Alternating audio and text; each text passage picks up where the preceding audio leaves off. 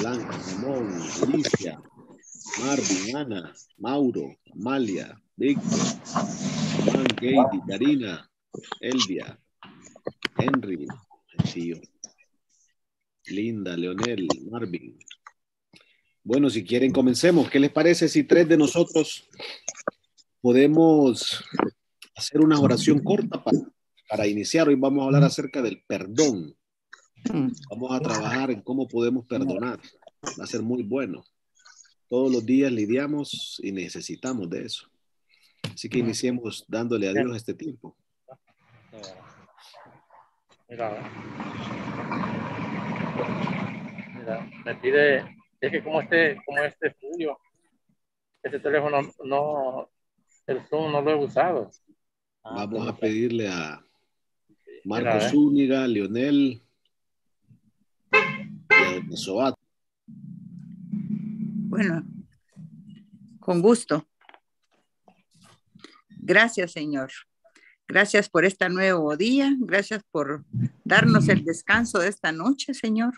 Gracias porque amanecemos con alegría, Señor, en el corazón, sabiendo que vamos a reunirnos con los hermanos y con el pastor, Señor. Gracias. Gracias por todas las bendiciones que nos das continuamente. Y prepáranos, Señor, para empezar a recibir tus misericordias del, que nos tienes preparado para el día de hoy. En tu nombre oramos. Amén.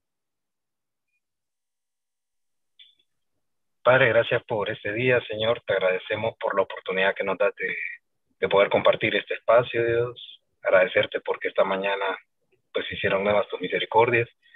Y pedirte, Señor, que nos hables a través de, de lo que tienes ahí preparado con Edwin, Dios. Y realmente qué importante es aprender eh, todos los días, Dios. Necesitamos aprender a perdonar pedirte que lo uses y que dispongas ahí un corazón receptivo en nosotros, en cada uno de nosotros. Amén. Sí, Señor.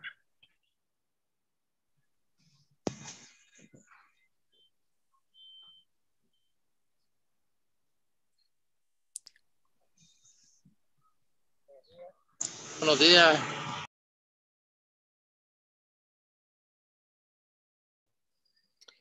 Señor, te queremos agradecer por esta mañana, por todos los hermanos aquí conectados, Dios. Deseosos de que tú nos hables a través de la interacción, a través de la comunión. Señor, este inicio de semana, Dios, que tu Espíritu Santo nos pueda equipar, que tu Espíritu Santo nos pueda llenar, que tu Espíritu Santo nos guíe, Señor. Que podamos ser llenos del Espíritu Santo, que tengamos la conciencia de no apagar el espíritu, sino tener una semana súper sensible, con un oído muy dócil a escucharte, Señor. Danos eh, una bendición sobre todos los esfuerzos de esta semana. Danos una capacidad divina, Señor, para poder resolver de manera eh, sabia, Señor, de manera con tu inteligencia todos los desafíos de esta semana.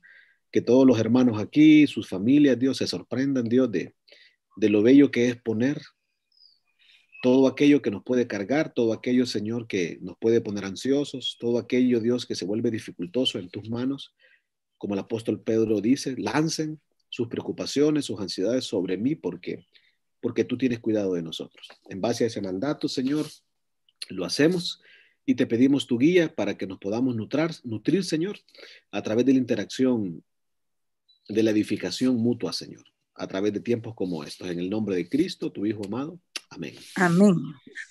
Bien, creo que una de las maneras de crecer es a través del perdón. Y no solo de crecer, en primer lugar, una de las maneras de amar es a través del perdón. En Hebreos capítulo 6, versículo 11, dice lo siguiente, nuestro gran deseo es que sigan amando a los demás mientras tengan vida. Lo repito, nuestro gran deseo es que sigan amando a los demás mientras tengan vida. Entonces, hoy, número uno, tenemos vida, ¿verdad? Hoy es, hoy es el inicio de una semana en la que podemos amar. Entonces, una de las maneras de amar está bien claro en la Biblia que es el perdón. Entonces, tal vez tiremos una lluvia de ideas como lo hemos estado haciendo. Eh, yo voy a estar anotando aquí. ¿Qué piensan ustedes? ¿Cómo, cómo podemos perdonar? Eh, y los beneficios de perdonar. Entonces podemos, podemos ir respondiendo en base a cualquiera de los dos ángulos, cómo perdonar y los beneficios de perdonar. Entonces tratemos de respuestas breves para que podamos participar y aprovechemos la, la media hora, ¿les parece? Así que Ricky nos va a ayudar con todos los micrófonos y levantamos la mano, pedimos y vamos interactuando, ¿verdad?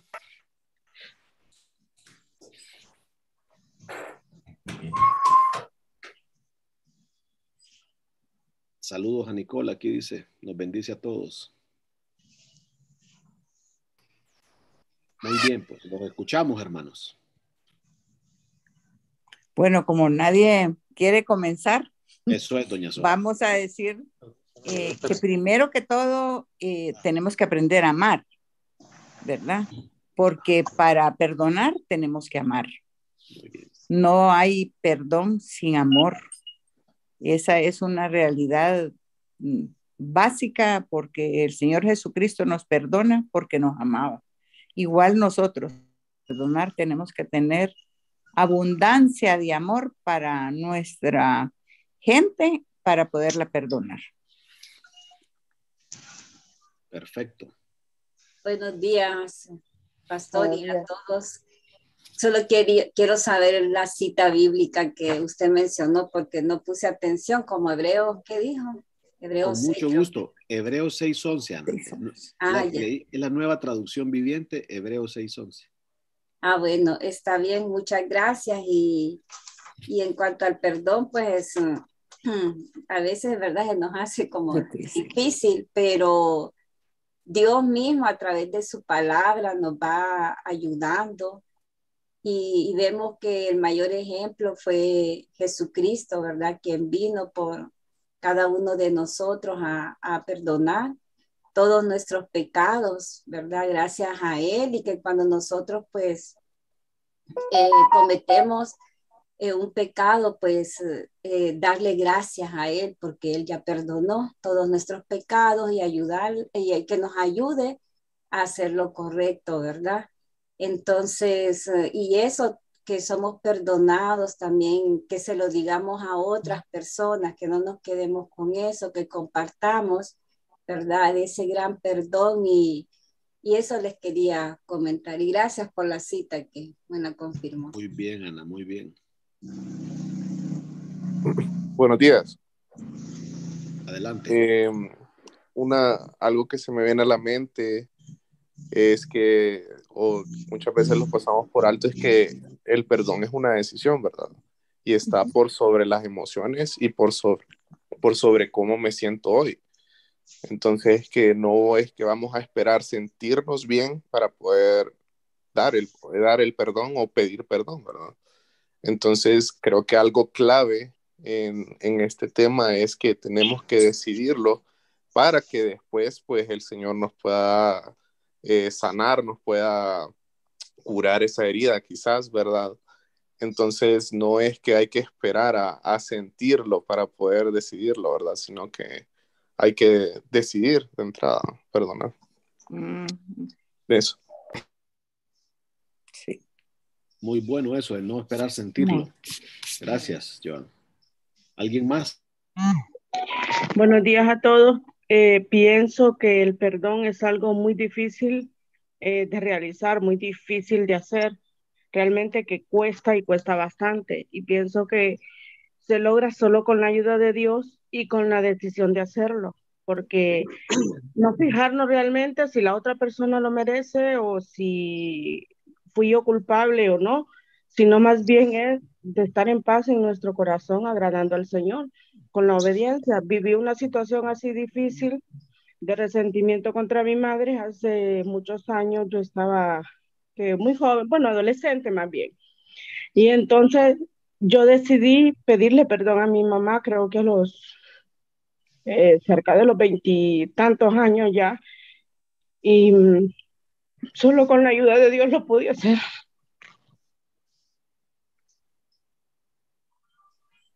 Edificante, gracias. Buenos días. El perdón, eh, la experiencia que he tenido en esto es Lo que las palabras nos dice que seamos hacedores. Y en el perdón es precisamente ser hacedores. Porque he visto hablar mucha gente del perdón, aún entre hermanos. Y cuando les toca a ellos, les cuesta mucho. Muchos caemos en eso. Entonces debemos realmente quitarnos esa carga, ese peso que llevamos. Qué rico es perdonar porque caminamos mejor, caminamos con entusiasmo, porque el perdón nos, nos esclaviza, nos hace caminar con una gran joroba. Y para mí el perdón se puede hablar todos los días. Todos los días podemos hablar del perdón porque nos ayuda enormemente. Bien difícil, es un área bien difícil para pero el Señor nos pidió que perdonáramos. Y debemos ser hacedores de la palabra. Eso es lo que puedo decir. Gracias, Tomo. Y también así como Jesucristo nos perdonó, tenemos que perdonar nosotros. Es un ejemplo que tenemos que llevar del Señor, ¿va? Dice que si tú yo te perdono, nosotros tenemos que perdonar. Y es una obediencia también. Y como dice don Mauro, es un, eh, es una, pues uno se libera, tiene aquella carga como aquel peso de que aquella cosa que a uno le dan, ¿verdad? Entonces al perdonar, uno se siente libre y, y en paz también. Gracias, muchas gracias. Pastor. Adelante. Sí, buenos días. Hay un verso que a mí me encanta y es Proverbios 17.9. Y dice, el que perdona la ofensa cultiva el amor. El que insiste en la ofensa divide los amigos. Entonces, cuando perdonamos, estamos cultivando el amor, estamos construyendo. Y eh, yo siempre he visto el perdón como algo imposible en la carne, imposible totalmente. Como decían los hermanos ahí, nos sentimos, no, nos, no, no, no se nos da, ¿verdad? No, no nos nace. Pero cuando vamos a la cruz y vemos lo que el Señor hizo por nosotros, podemos ver de que Él no solo nos ha perdonado sin merecerlo, sino que también nos ha buscado y ha insistido en amarnos y nos ha traído, ¿verdad? Hacia acá. Y, y, es, y eso es lo que hacemos cuando perdonamos, cultivamos amor, sanamos, demostramos realmente de ese amor que el Señor nos, ha, nos da inmerecido. Entonces, cuando perdonamos, estamos construyendo y cuando no perdonamos, estamos destruyéndonos nosotros mismos. Sí. Fabuloso, Alfredo, gracias. ¿Quién más? Está buenísimo esto. Buenos días, Buenos días. Se lo voy a compartir aquí para que miremos. Dice eh, Colosenses 3:13, dice, soportándonos unos a otros y perdonándonos unos a otros. Y si alguno tuviera queja contra otro, de la manera que Cristo os perdonó, así también hacedlo vosotros. Y sobre todas estas cosas, vestidos de amor, que es el vínculo perfecto de amor, que es el, y la paz de Dios gobierne en vuestros corazones, a las que asimismo fuiste llamados en un solo cuerpo, y sed agradecidos. Entonces produce paz el, el perdón, como decía la hermana ahí, y, y es cierto, produce una paz que, bueno, con, y, hay, y hay frutos, pues, también, al perdonar. Eh, y qué bien que tenemos la palabra para que nos esté edificando y, y compartiéndola con nosotros, hermano. Gracias, hermano, solamente. Buenísimo. Hola. Adelante, Oscar. Eh, buenos días a todos. Eh, hay un detalle interesante con esto del perdón y es que mm, no podemos perdonar a medias. Hay un dicho eh, muy conocido en la calle que dice, yo te perdono, pero no olvido. No se puede eso. O sea, tenemos que estar conscientes, eh, así como decía Joan, que es una decisión, que si perdonamos es porque dejamos atrás eso, pues. O sea, esa, esa, situación que, por la cual estamos perdonando es porque la vamos a dejar atrás y no la vamos a venir a sacar más adelante. Es olvidarlo. Gracias. La verdad que el perdón es una acción bien liberadora para, un, para cada uno de nosotros.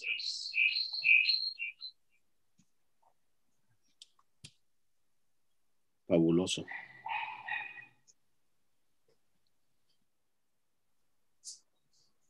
Hola, buenos días.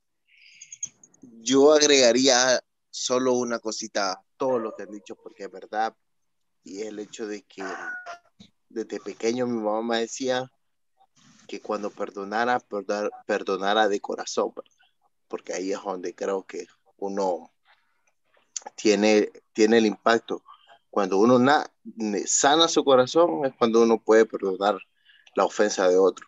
Entonces yo siempre he pensado en eso. Mi mamá siempre me dijo, de corazón, si vas a perdonar, hacerlo de corazón, va, porque ahí es donde va a entrar todo. Feliz día a todos. Gracias, gracias. Creo que el amor es una, también es una expresión de, de amar, ¿verdad? Cuando perdonamos y, y esa es, es, la capacidad de, de, que uno tiene para no traer aquello nuevamente un recuerdo a, a nuestra mente o a nuestro corazón, ¿va? Al, al, al, al ser un hecho consumado, el, el perdón, ¿va? Eh, debería de ser en, en mi vida, pues eh, ya no tendría esa capacidad nuevamente de recordar y ahí se expresaría para mí pues eh, un amor verdadero a, hacia, hacia la persona o la, o la parte que pude recibir, en, si ese fuera el caso, una ofensa o algo que pudiera tener esa capacidad en mi, en mi vida, en mi corazón y mi mente, ya no traerlo a, al día. Pues.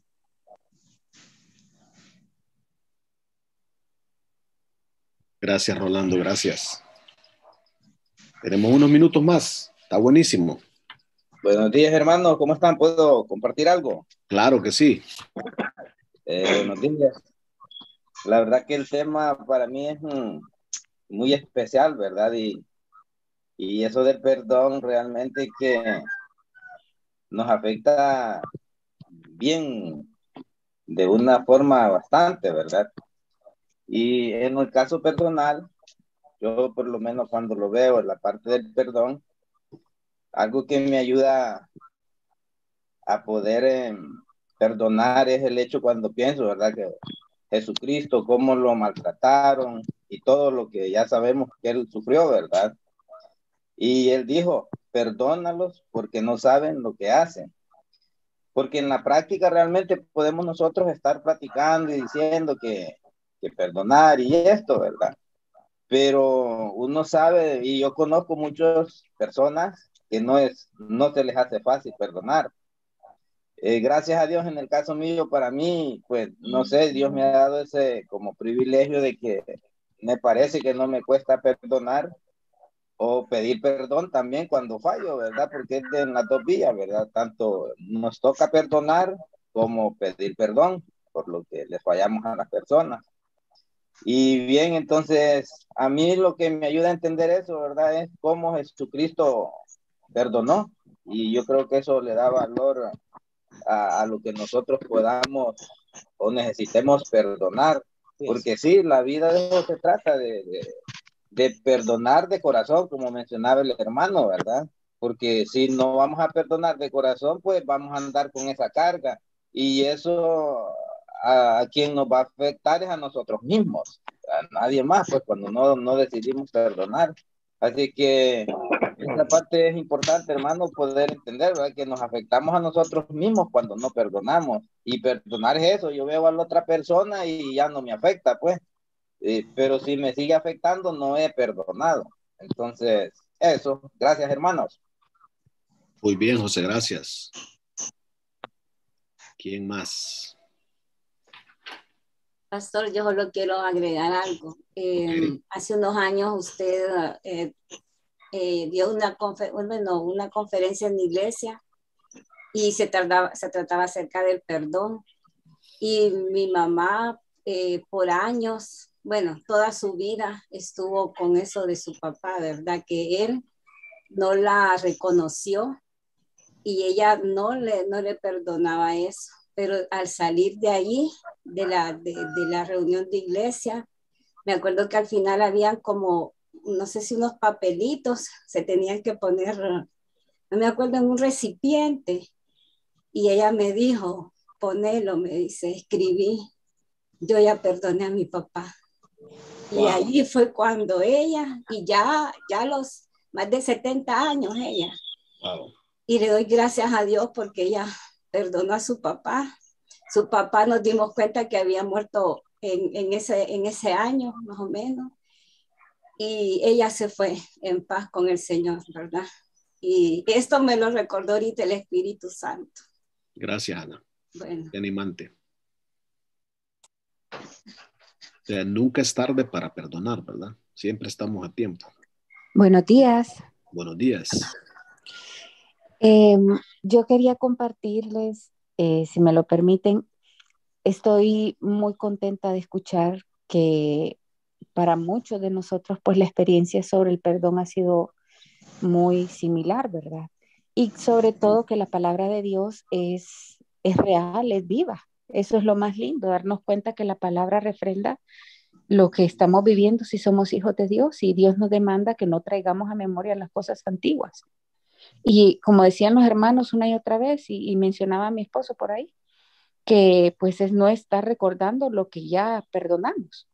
O alguien dijo por ahí también que cuando vemos a la otra persona con la que tenemos algún resentimiento, algún, alguna cosa que perdonarle a esa persona, si lo vemos no nos alteramos, no nos molesta esa persona y que ese es un, un buen signo de que ya hemos perdonado. Eh, a veces hay cosas, por ejemplo, que estamos en paz y el enemigo siempre nos está tentando, trayéndonos a memoria cosas pasadas, antiguas, tratando de abrirnos las heridas. Y es importante perseverar en la palabra de Dios, como han dicho todos, en la palabra de Dios para ejercer la palabra en nuestras vidas y perdonar. También quería mencionarles que es importante perdonarnos a nosotros mismos. Nosotros tenemos que perdonarnos si Cristo ya nos perdonó y a veces podemos perdonar a los demás, pero si hemos cometido algún error, alguna falta, nos mortificamos con eso y tenemos que aprender a perdonarnos a nosotros mismos porque Cristo ya nos perdonó. Y también he tenido la experiencia de acompañar a muchas personas mayores y qué lindo lo que compartía la hermana que me antecedió, que su mamá perdonó a los 70 años. A mí me ha tocado, no sé por qué Dios me ha puesto un amor por los viejitos, es algo que me apasiona. Y me ha tocado que me llaman cuando van a morir. Oscar puede dar testigo, testimonio de eso. Esta gente en conversa me ha llamado para que vaya a acompañar a sus ancianos antes de morir y una de las cosas que les ha costado mucho para irse en paz es el no perdonar. Eh, y una vez que logran perdonar y ponerse a cuentas con Dios, eh, eh, sentir que ya hicieron, que le dieron el espacio a Dios plenamente en su vida, incluso arrancando esas hierbas bien arraigadas de la falta de perdón, esa gente se puede ir en paz y con Cristo.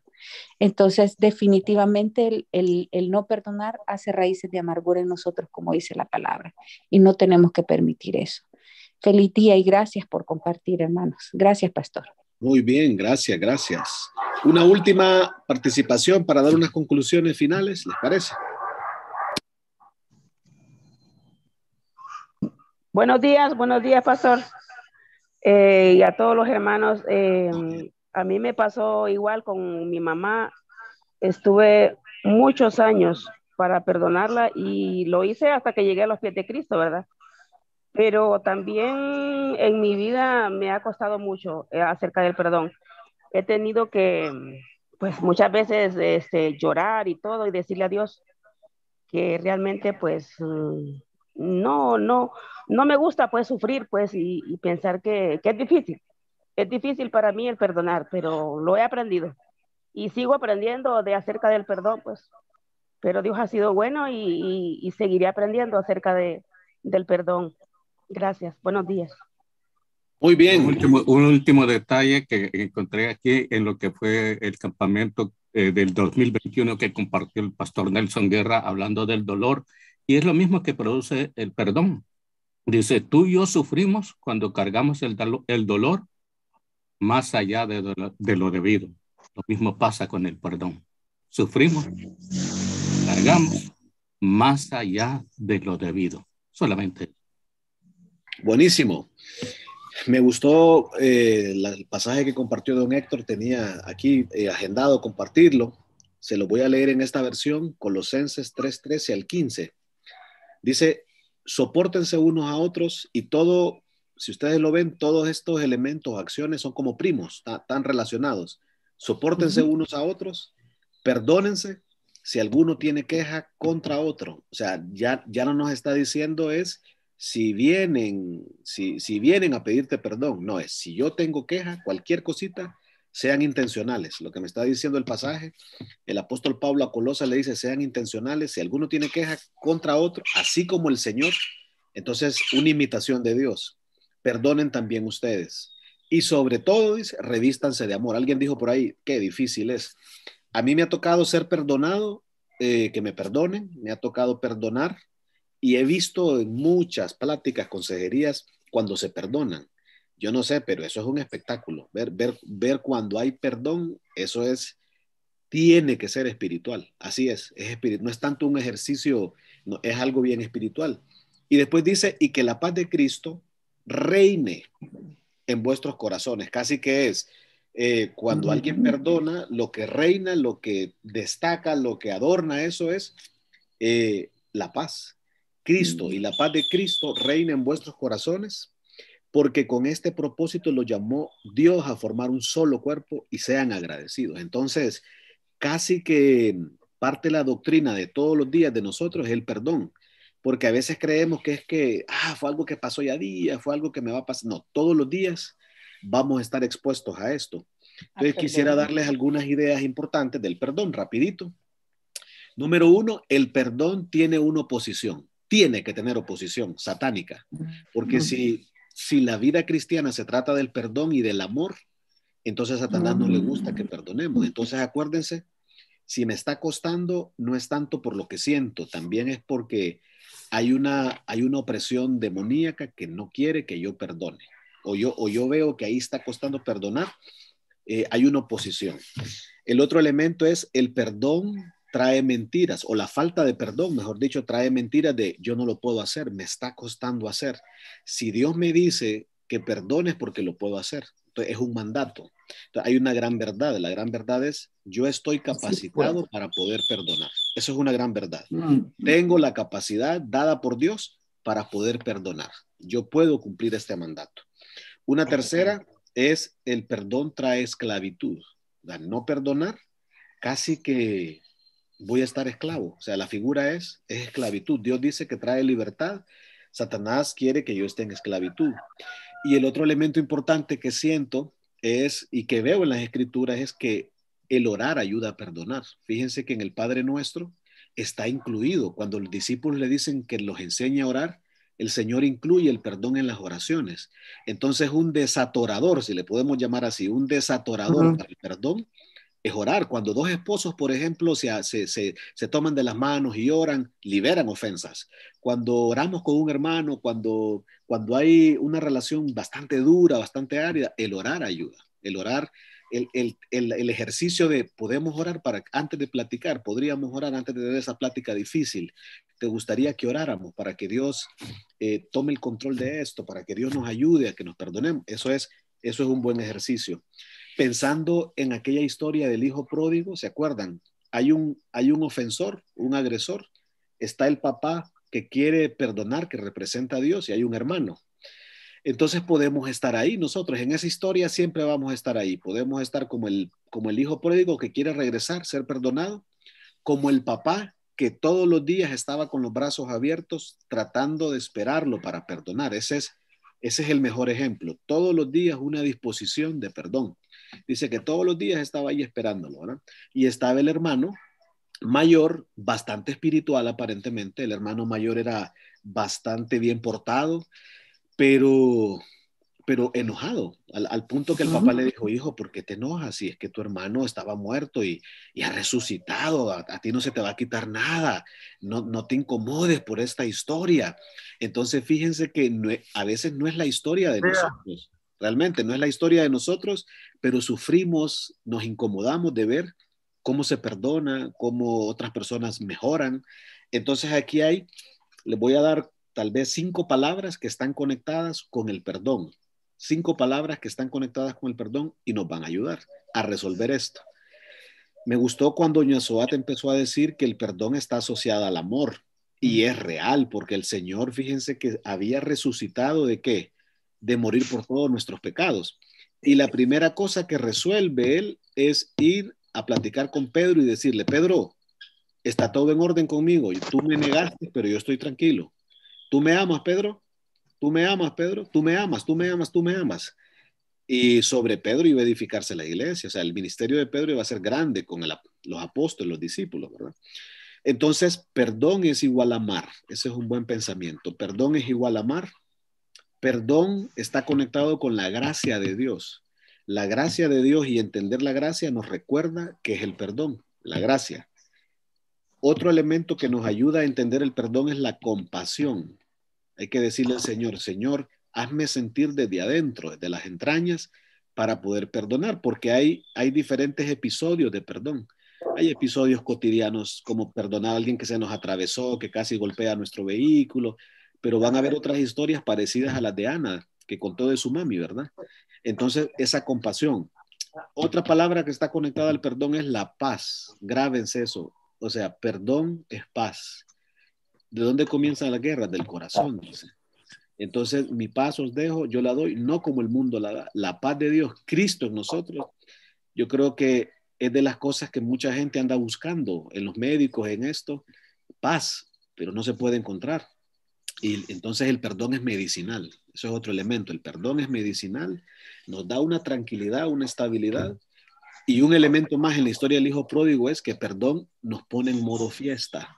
O sea, es bello estar de fiesta, espiritualmente hablando. O sea, porque cuando perdonamos, ¡boom! activamos la fiesta. Y Dios quiere eso para nosotros. Entonces el ejercicio del perdón es, pusimos música, pues fiesta, es el que estaba perdido, el que estaba, volvió. Yo creo que es bello cuando un hermano se siente perdonado y le ponemos esa musiquita, decir, hermano, todo bien, tranquilo, disfruta la vida, no hay cosa mejor. Ese nuevo comienzo es, es maravilloso. Así que tenemos un gran reto y yo cerraría diciendo que perdonar nos hace obedientes. Básicamente cuando perdonamos, somos obedientes porque Dios dejó eso en las escrituras, que perdonáramos. Y al ser obedientes, pues agradamos a Dios. Yo creo que eso es andar como es digno del Señor. Así que vamos a orar por todo lo que ustedes han compartido, que esto se quede como una semilla que dé fruto al 100 por uno y, y dejémosle a Dios este tiempo. Señor, te queremos agradecer por tu sabiduría esta mañana, Señor. Eh, tanta interacción, tanta sabiduría, tantas experiencias narradas, Dios, en este lapso de tiempo. Yo te pido, Señor, de que, nos, que esto que hemos platicado, esto que hemos escuchado a través de cada hermano, de cada pantallita, sea esa leche, ese sustento, esa comida sólida para nosotros, que nos nutra, Señor, que esta semana pueda tener un efecto que pueda tener un efecto que trascienda, Señor, en nuestra vida, en nuestro futuro. Yo te pido por toda la semana de todos los hermanos aquí, Señor, que tú bendigas increíblemente su semana, sus trabajos, sus casas, sus familias, sus retos, sus desafíos, sus pruebas, Señor. Que a través del perdón y del amor, como estaba dicho ahí, podamos crecer, Señor. Danos crecimiento. Danos esa paz, danos esa alegría, danos una semana llena de ánimo, Señor, como nunca antes. Te lo agradecemos por tu amor, por tu misericordia, por permitirnos la bondad tuya de estar aquí, Señor, vivos, escuchándonos unos a otros, animándonos unos a otros como tú lo mandas. Gracias. Permite que estos hermanos puedan contagiar y edificar a otros espiritualmente y con el ánimo, con sus vidas. En el nombre de Cristo, Señor. Amén. Amén. Amén. Bueno, hermanos, que Dios me los bendiga mucho y que el Señor los sorprenda esta semana a todos ustedes. Oyen. Amén. Buen tema. Buen tema. Gracias, pastor. Gracias. ustedes, hermanos. Feliz día a todos. Gracias, hermano. Buenos días, buenos días a todos. Dios. Buen día. Feliz semana a todos. Hasta luego. Feliz semana a todos, feliz día. Igualmente, igualmente. Dios los bendiga. Igualmente, igual. Adiós, feliz semana, bendiciones. Igual. Igual para todos. Lourdes. Igual para